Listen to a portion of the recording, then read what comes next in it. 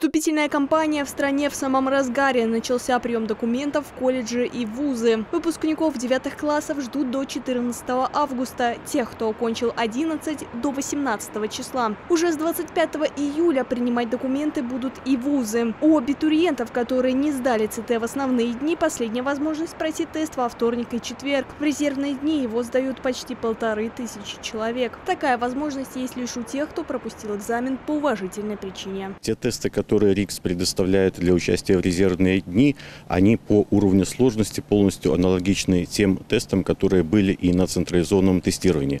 Наша задача подготовить такой тестовый материал, который поставит всех абитуриентов в равные условия вне зависимости от того, в какой день тестирования они прошли ЦТ. Выдавать сертификаты начнут в пятницу, 24 июля. В Бобруйске забрать свидетельство с результатом можно в автотранспортном и аграрно-экономическом колледжах. Абитуриенты, которые сдавали экзамены в резервные дни, смогут получить их с 29 июля.